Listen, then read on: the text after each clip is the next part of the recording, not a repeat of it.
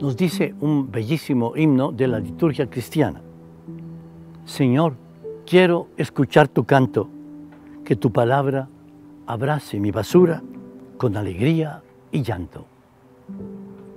Y es verdad que tu palabra, Señor, nos abrace, nos cubra con la fuerza del sol, pero también con la belleza de la luna.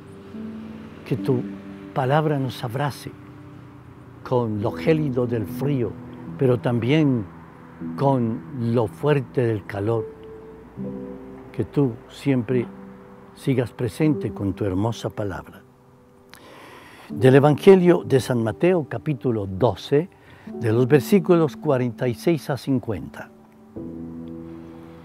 En aquel tiempo estaba Jesús hablando a la gente cuando su madre y sus hermanos se presentaron fuera tratando de hablar con él. Uno se lo avisó, oye, tu madre y tus hermanos están fuera y quieren hablar contigo. Pero él contestó al que le avisaba, ¿y quién es mi madre? ¿Y quiénes son mis hermanos? Y señalando con la mano a los discípulos, dijo, estos son mi madre y mis hermanos. El que cumple la voluntad de mi Padre del cielo, ese es mi hermano y mi hermana y mi madre. Palabra del Señor. Gloria a ti, Señor Jesús.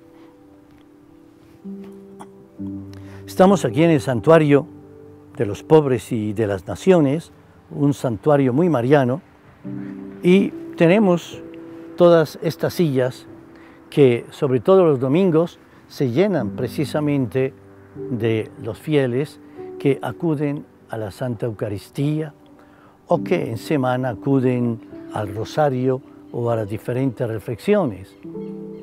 Pudiéramos decir entonces que en esta silla se sienta la familia de Jesús, la familia de Dios. Porque para ser de la familia de Jesús es lo que quiere decir el Evangelio de hoy. No se necesita que tú lleves la sangre, la misma eh, parte genética de Jesús, sino que simplemente seas un ser humano, hombre o mujer, que acepte seguirle, que acepte tenerle como el Dios y Señor, como aquel que nos trae el amor del Padre, la salvación del Hijo y la luz del Espíritu Santo. Somos familia de Dios. Por eso que nunca dejemos las bancas vacías, que cuando sea el domingo o cuando haya una invitación especial a la oración, nosotros estemos presentes para alabar al Señor como asamblea, como comunidad, para estar todos realmente juntos en estos momentos grandes de amor, de alabanza y de fidelidad y felicidad ante el Señor. Gracias Jesús, gracias por compararnos aún con tu misma madre, porque tú preguntas, ¿y quién es mi madre? Son todos aquellos que creen en mí, que me sigan. Gracias Señor, no somos dignos de una comparación tan sublime y tan grande, pero al menos queremos ser dignos de que esta comparación no vaya a quedar en el vacío, sino que siempre, Señor, vivamos en tu amor, en tu gracia, en tu palabra. Que el Señor te bendiga y te guarde en nombre del Padre, del Hijo y del Espíritu Santo. Amén.